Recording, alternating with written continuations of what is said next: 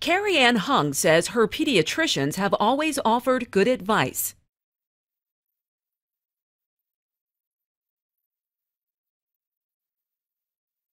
But a new study finds not all physicians are giving new moms critical advice on current health and safety recommendations. Dr. Tanya Altmann says pediatricians should be parents' first source for information.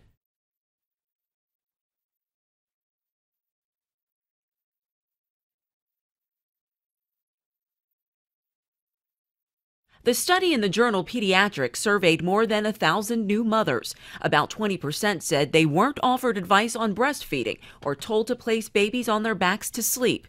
More than 50% weren't told where infants should sleep.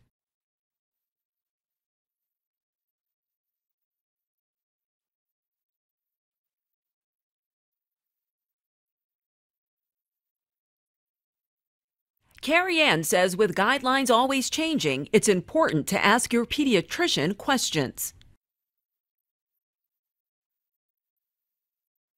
And experts say that's especially true for first time moms. Danielle Nottingham, CBS News, Calabasas, California.